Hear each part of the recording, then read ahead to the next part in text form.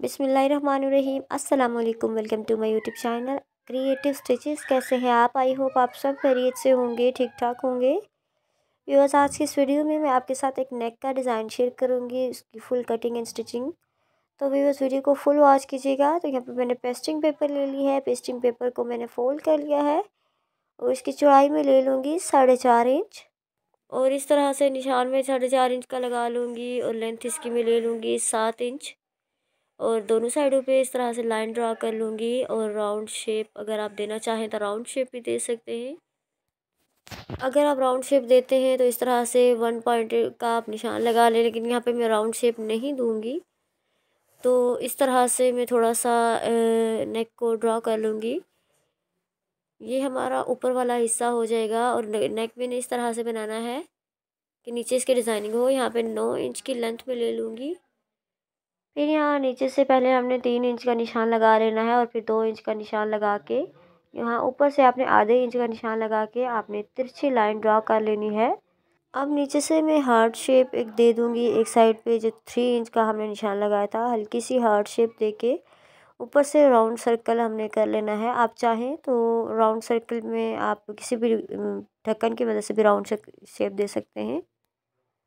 अब यहाँ पे मैंने जो कटिंग की है तो इस तरह से हमारा ये डिज़ाइन नीचे वाला हिस्सा आ गया है। अब मैं इसको पेस्ट करूँगी तो ऊपर वाले हिस्से को फैब्रिक के ऊपर चिपका लेंगे और उसके आगे बिल्कुल सेम फ्रंट पे इस तरह से हमने इसको पेस्ट कर देना है फैब्रिक के ऊपर। अब अलग से यहाँ पे मज़ीद डिज़ाइनिंग के लिए इस तरह से मैं चोरस आप कोई भी कार्ड ले सकते हैं या स्केल की मदद से भी आप इस तरह निशान लगा सकते हैं। नीचे से इस तरह निशान लगाती जाऊँगी ताकि आपको समझ में आ सके कि आप कितना कितना गैप छोड़ रहे हैं। तो इसलिए मैं नीचे से जो हमारा कोना होगा, वहाँ से हमने निशान लगाना स्टार्ट करना है। और फिर इस निशान के ऊपर हमने एम्ब्रॉयडरी कर लेनी है।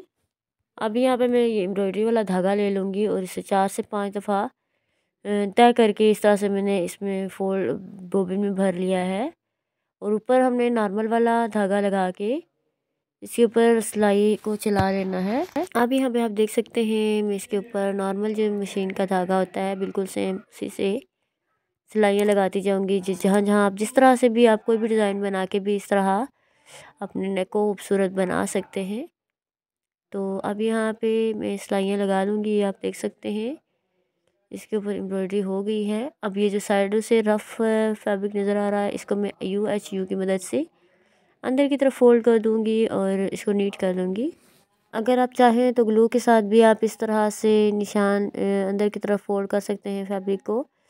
और अगर आप के पास ग्लू या गम नहीं है तो आप इसको मोटा मोटा टांके के साथ सिलाई भी चला सकती हैं, जो कि बाद में आप इसको खोल सकती हैं। तो यहाँ पे इस तरह से मैंने सारा एक्स्ट्रा फैब्रिक को अंदर की तरफ़ फोल्ड कर लेना है। अब आपने नेक को आपने कमीज़ की उल्टी साइड पर रखना है, सीधी साइड पर नहीं रखना, क्योंकि हमने उल्टी साइड पर रखना है और एक्स्ट्रा फैब्रिक को कट करने के बाद इसको सीधी साइड की तरफ़ हमने मोड़ लेना है। तो इसको आपने उल्टी साइड पर रख के सिलाई चला लेनी है। तो यहाँ पे मैंने सिलाई चला ली है और इसको कटिंग कर लूँगी। एक्स्ट्रा फैब्रिक जितना भी है मैंने कट कर लेना है। और नेक की जो सेंटर में हमारी जो जगह है, यहाँ पे छोटा सा एक कट लगा लूँगी इस तरह से। और अब इसको मैं इस तरह से पलट लूँगी। पलटने के बाद आप यहाँ पे देख सकते हैं कि मैं इसको अब सीधी साइड के ऊपर, सीधी साइड की तरफ़ फोल्ड करके इसके ऊपर सिलाई चला लूँगी। इसके सेंटर का आपने बहुत ज़्यादा ख्याल रखना है और चाहे तो आप कच्चा भी डाल सकते हैं। इससे ये होगा कि आपका जो नेक है परफेक्ट सेंटर में आएगा। बहुत ही इजीली इस तरह के नेक की डिज़ाइनिंग आप कर सकते हैं। और यहाँ पे आप देख सकते हैं, इस तरह से मैं इसके ऊपर सिलाई चला लूँगी। और फिर इसकी एक नोक जो है वो बहुत ही अच्छे से आपने नीट करके बनानी है। तो यहाँ पे इस तरह से मैंने इसकी नोक को नीट कर लिया है। और फिर इस तरह से साइड से अपनी सिलाई को लगा लेना है।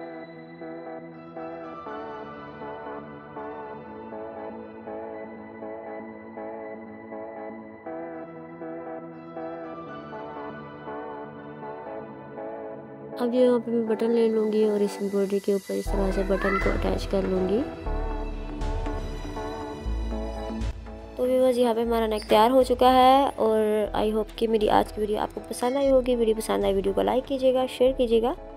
अपने फ्रेंड्स और फैमिली मेंबर्स के साथ कमेंट में मुझे बताइएगा मेरी आज की वीडियो आपको कैसी लगी है। चैनल पे फ़र्स्ट टाइम आए हैं तो चैनल को सब्सक्राइब कीजिएगा, साथ लगे बेल के आइकन को भी प्रेस कीजिएगा। दुआ में याद रखिएगा, मिलते हैं नेक्स्ट वीडियो में। Thanks for watching. Allah Hafiz.